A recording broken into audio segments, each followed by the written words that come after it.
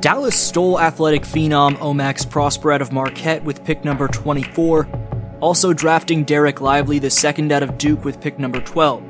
They traded for Grant Williams, plus signed Derrick Jones Jr., Seth Curry, and Dante Exum.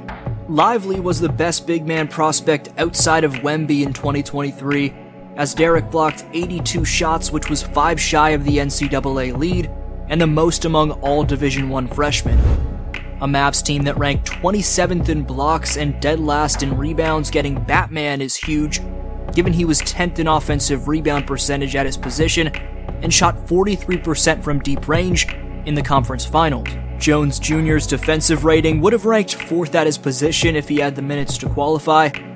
Seth Curry's number 6 all time in three point percentage, Dante Exum's a former top 5 draft pick, and Omax Prosper could be an elite two way player and lockdown defender right off the bat.